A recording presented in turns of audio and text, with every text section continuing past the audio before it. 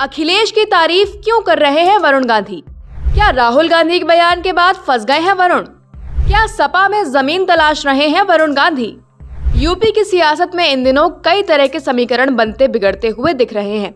UP के पीलीभीत से BJP सांसद वरुण गांधी इन दिनों काफ़ी चर्चा में हैं। पिछले कुछ समय से कयास लगाए जा रहे हैं कि वरुण गांधी बीजेपी को छोड़ कांग्रेस या सपा में जा सकते हैं। लेकिन कांग्रेस नेता राहुल गांधी ने इन कयासों पर विराम लगा दिया है।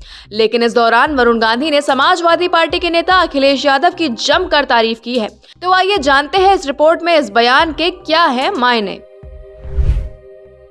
हिंदूवादी नेता की छवि पहुँचा सकता है नुकसान वरुण गांधी पिछले कुछ समय से लगातार बीजेपी के खिलाफ बोल रहे हैं, जिसके बाद से ये चारों तरफ़ चर्चा है कि बीजेपी 2024 के लोकसभा चुनाव में वरुण गांधी की टिकट काट सकती है।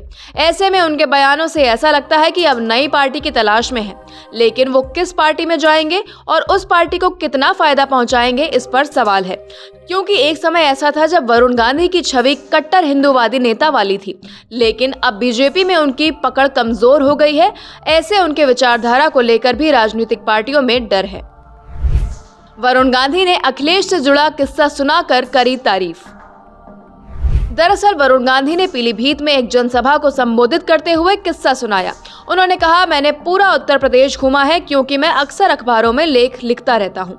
आपने पढ़े भी होंगे। मैंने एक दिन सोचा कि वो कौन से आर्थिक मानक है, जिसके तहत एक किसान या फिर आम आदमी आ जाए। आखिर क्यों वो आत्महत्या करने पर मजबूर होता है? उस समय शायद अखिलेश यादव मुख्यमंत्री थे। मैंने उनको एक चिट्ठी लिखी थी। मैंने कहा था कि मान्यवर इसमें कोई राजनीति नहीं है, जिसके बाद अखिलेश यादव ने बड़ा मन दिखाया था। अखिलेश ने सुनी वरुण गांधी की बात।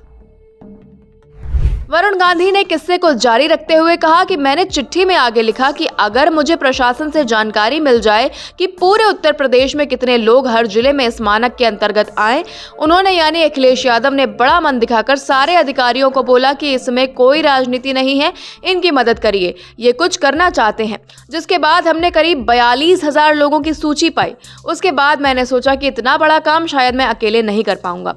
तब मैंने सोचा कि ये काम कैसे हम लोग कर सकते हैं। इसमें उन्होंने मदद की और हम बिजनौर से लेकर गोरखपुर तक गए। वहाँ स्थानीय रईस लोगों से मिले और उनसे इनकी मदद करने की गुहार की। क्या सपा में जा सकते हैं वरुण गांधी? वरुण गांधी इन दिनों अपनी पार्टी भाजपा से खासे खुश नज़र नहीं आ रहे हैं। पिछले दिनों महँगाई से जुड़ा उनका एक बयान सामने आया था, जिसमें वो अपनी ही पार्टी को आड़े हाथों लेते नज़र आ रहे थे। पीलीभीत में अखिलेश यादव को लेकर दिए उनके इस बयान के बाद सियासी अटकलें तेज हो गई हैं। और इसे उनकी सपा से बढ़ती नजदीकियों की तरफ़ भी देखा जा रहा है। ऐसे कयास लगाए जा रहे हैं कि वो सपा ज्वाइन कर सकते हैं। तो ये थी वरुण गांधी पर हमारी रिपोर्ट। आपको कैसी लगी ये रिपोर्ट? कमेंट बॉक्स में बताएँ। साथ ही इस पूरे मामले पर आप क्या कहना चाहते हैं, कमेंट बॉक्स में लिखें। बाकी देश दुनिया की खबरों के लिए बने रहिए जनसत्ता के साथ। धन्यवाद।